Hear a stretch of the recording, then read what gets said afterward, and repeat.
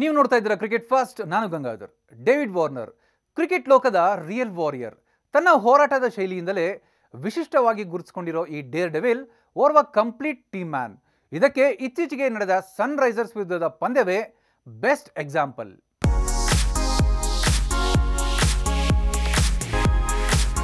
ಸ್ಫೋಟಕ batting, aggressive attitude, ball ಇರೋದೇ ದಂಡಿಸೋಕೆ ಅನ್ನೋದೇ ಈತನ ಕ್ಯಾರೆಕ್ಟರ್. ಕ್ರೀಸ್ ಕಚ್ಚಿ ನಿಂತ ಅಂದ್ರೆ ಮೈದಾನದ ಉದ್ದಗಲಕ್ಕೂ ಚೆಂಡಿನ ದರ್ಶನ ಪಕ್ಕ.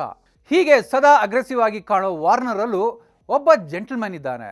ಟೀಮ್ ಸ್ಪಿರಿಟ್ ಅಂತ ಬಂದಾಗ ವಾರ್ನರ್ ಆಟಿಟ್ಯೂಡ್ ಬೇರೆನೇ ಇರುತ್ತೆ.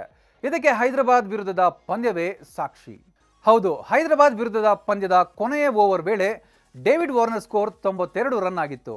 ಸ್ಟ್ರೈಕ್ನಲ್ಲಿದ್ದ ರೋಮನ್ ಪೋವಲ್ ಸಿಂಗಲ್ ತೆಗೆದುಕೊಂಡು ಸ್ಟ್ರೈಕ್ ಬಿಟ್ಟುಕೊಡೋಕೆ ರೆಡಿಯಾಗಿದ್ದರು ಉಳಿದ ಆರು ಎಸೆತಗಳಲ್ಲಿ ಎಂಟು ರನ್ ಗಳಿಸಿ ಶತಕ ಸಿಡಿಸೋದು ವಾರ್ನರ್ಗೆ ಕಷ್ಟವೇನಾಗಿರಲಿಲ್ಲ. ಆದರೆ ಆಗ ವಾರ್ನರ್ ತೆಗೆದುಕೊಂಡ ನಿರ್ಧಾರ ಇದೆಯಲ್ಲ. ಅದೇ ವಾರ್ನರನ್ನು ಜೆಂಟಲ್ಮೆನ್ ಗೇಮ್ನ ರಿಯಲ್ ಜೆಂಟಲ್ಮೆನ್ ಅಂತ ಮತ್ತೆ ನಿರೂಪಿಸಿದ್ದು. ಕೊನೆಯ ಓವರ್ನ ಆರಂಭದಲ್ಲೇ ಡೇವಿಡ್ ವಾರ್ನರ್ ಬಳಿ ರೋಮನ್ ಪೋವಲ್ ಕೇಳಿದ್ರಂತೆ. ನೀವು ಶತಕದ ಹತ್ತಿರ ಇದ್ದೀರಾ? ಸಿಂಗಲ್ ತೆಗೆದುಕೊಳ್ಳಲ್ಲ ಅಂತ. ಆದರೆ ವಾರ್ನರ್, ಬಾಲ್ ಹಿಟ್ ಮಾಡು. ನಾವು ಈ ಓವರ್ನಲ್ಲಿ ಎಷ್ಟು ಸಾಧ್ಯವೋ ಅಷ್ಟು ರನ್ ಗಳಿಸಬೇಕು ಅಂತ ಹೇಳಿ ಶತಕದ ಅವಕಾಶವಿದ್ದರೂ ತಂಡದ ಸ್ಕೋರ್ ಮುಖ್ಯ ಅಂದರಂತೆ. ಕೊನೆಯ ಓವರ್ನಲ್ಲಿ ವಾರ್ನರ್ ಶತಕದ ಆಸೆ ಬಿಟ್ಟು ನಾನ್ ಸ್ಟ್ರೈಕರ್ನಲ್ಲಿ ಉಳಿದರೆ ಸ್ಟ್ರೈಕ್ನಲ್ಲಿದ್ದ ರೋಮನ್ ಪೋವಲ್ ಅಬ್ಬರಿಸಿ ಬೊಬ್ಬಿರಿದ್ರು. ಮೂರು ಬೌಂಡರಿ, ಒಂದು ಸಿಕ್ಸರ್ ಸಹಿತ ಹತ್ತೊಂಬತ್ತು ರನ್ ಚಚ್ಚಿ ಟೀಮ್ ಸ್ಕೋರನ್ನು ಇನ್ನೂರರ ಗಡಿ ದಾಟಿಸಿದರು. ಇದು ಡೆಲ್ಲಿ ಗೆಲುವಿನಲ್ಲಿ ಪ್ರಮುಖ ಪಾತ್ರ ವಹಿಸಿತು ಅನ್ನೋದನ್ನು ಬಿಡಿಸಿ ಹೇಳಬೇಕಾಗಿಲ್ಲ. ಈ ಪಂದ್ಯದಲ್ಲಿ ಅಬ್ಬರಿಸಲು ನನಗೇನು ಮೋಟಿವೇಶನ್ ಬೇಕಿರಲಿಲ್ಲ. ಇದು ಪಂದ್ಯದ ಬಳಿಕ ವಾರ್ನರ್ ಆಡಿದ ಮಾತು. ಯಾಕಂದರೆ ಮೊನ್ನೆಯ ಆ ಡೇರ್ ಡೆವಿಲ್ ಇನ್ನಿಂಗ್ಸ್ ಹಿಂದೆ ಒಂದು ಜಿದ್ದಿತ್ತು. ಸನ್ ರೈಸರ್ಸ್ ಹೈದರಾಬಾದ್ ತಂಡವನ್ನು ಚಾಂಪಿಯನ್ ಪಟ್ಟಕ್ಕೇರಿಸಿದ ಸಾಧನೆಯನ್ನು ಧಿಕ್ಕರಿಸಿ ಫ್ರಾಂಚೈಸಿ ಕಳೆದ ವರ್ಷ ವಾರ್ನರನ್ನು ಬೆಂಚ್ನಲ್ಲಿ ಕೂರಿಸಿತು. ಅಷ್ಟೇ ಅಲ್ಲ, ಕೆಲ ಪಂದ್ಯಗಳಲ್ಲಿ ಡಗೌಟ್ನಲ್ಲೂ ಕೂರಲು ಅವಕಾಶ ನೀಡಿರಲಿಲ್ಲ. ಇದೇ ಅಪಮಾನ ಮೊನ್ನೆಯ ಡೇರ್ ಡೆವಿಲ್ ಇನ್ನಿಂಗ್ಸ್ ಹಿಂದಿನ ಸೀಕ್ರೆಟ್.